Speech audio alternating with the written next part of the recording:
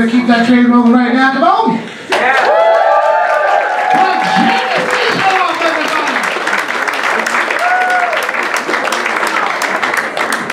Hello, hi Absolute Comedy. This is my first time doing Absolute Toronto, so I'm so excited. Beautiful people. Uh, my name is Janice Israeloff. I have an unapologetically Jewish name. Israel like the country, and off as in fuck off anti-Semites. Okay, I know I don't look stereotypically Jewish, like I don't have a hook nose hunched over a money bag. But there are a lot of famous Jews that don't look Jewish. Um, the one that comes to mind is Jesus Christ. Very famous Jew. He did really well for himself, took over his father's business. Yeah, he uh, has millions of followers, no Twitter account. Is um, comes to mind is Drake. Very famous Jew. Yeah, yeah, best I ever had. Um, yeah, and Ivanka Trump.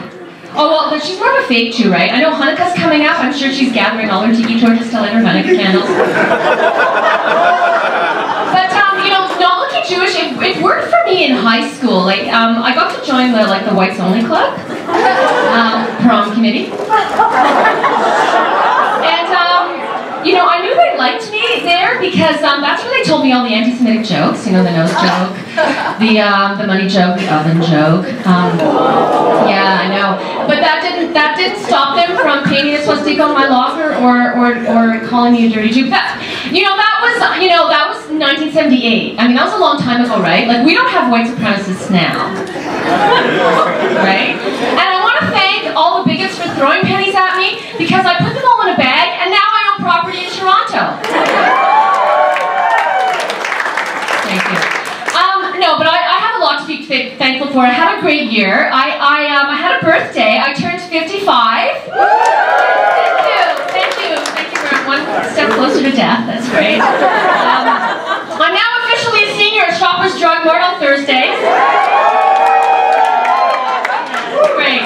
Um, you know, but um, getting old, like, there's some clues that I'm actually a senior because last week I spent all afternoon choosing an outfit for my colonoscopy appointment. Yeah, I chose the backless number. Doctor's really hot. Um, but, you know, I wish I looked as hot as I feel because, you know, I feel hot. No, I. Thank you. But, like, no, no, I feel hot. hot. Like, oh my god, night I was so hot. I had the windows open, like full blast, right?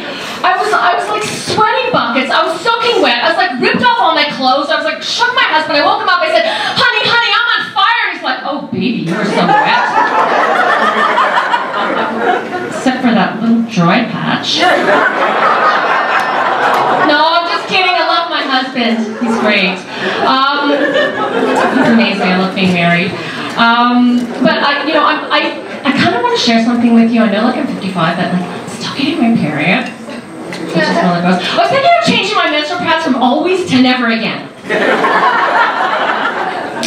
I also just had my 30th wedding anniversary. Yeah, that's great. I love being married, but you know, I think marriage should be more like a job. Like, I think you should get promoted to a better husband every few years.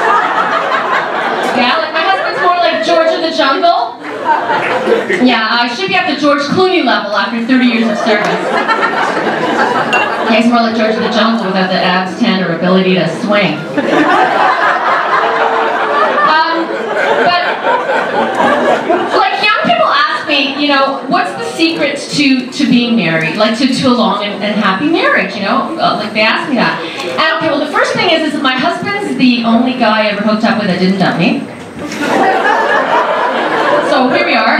No, um, but the thing is, is like the two of you have to be crazy, like, but not crazy in love, but uh, crazy in the that keeps you together. Like my husband has OCD and he's always trying to get me in bed, and like, well, I'm chronically depressed, so I'm already there.